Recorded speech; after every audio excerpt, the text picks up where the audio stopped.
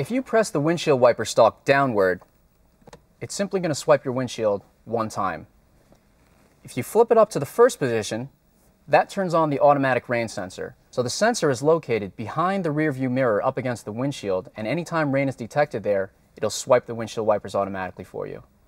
You can adjust the sensitivity by toggling this switch upward, and in the 2 position, it's in the most sensitive position possible.